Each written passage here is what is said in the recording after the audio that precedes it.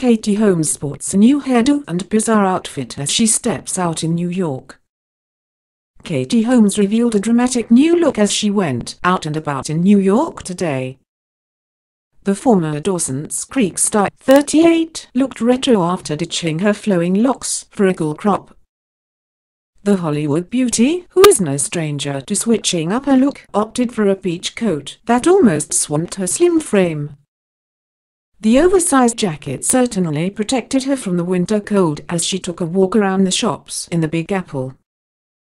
Katie covered her slender legs in a pair of loose-fit jeans and swapped her trademark heels for a pair of comfy, white trainers. She threw a brown purse over her shoulder to complete her look.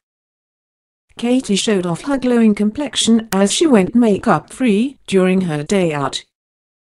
Her pink coat and neck was similar to the pink Chanel jacket Jacqueline Kennedy wore during her husband John F. Kennedy's assassination in Texas in 1963. The actress has played the former First Lady twice, first in The Kennedys in 2011 and then in the follow-up The Kennedys, The Decline and Fall, which aired earlier this year.